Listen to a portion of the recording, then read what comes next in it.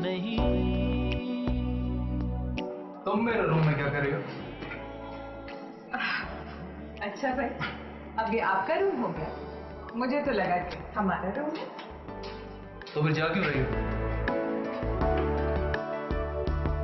तुम्हें तो आग से रुकना चाहिए ना?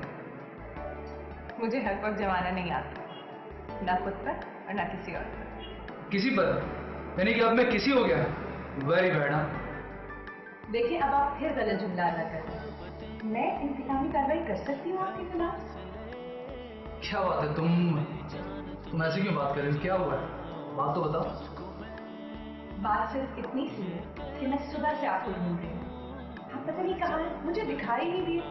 मैं उदास हूँ तो एटलीस्ट कॉल करके पूछ लेती मुझसे मैं आपकी ट्रैकिंग नहीं करना चाहती थी। मैं समझ रही थी कि आप बहुत किसी इम्पोर्टेंट मीटिंग में हो।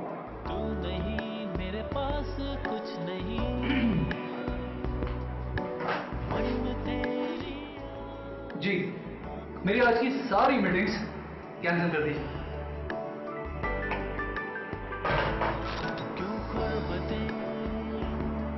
है फासले? वजह जान सकती चलिए वजह तो मैं आपको जल्दी ही बताऊँगा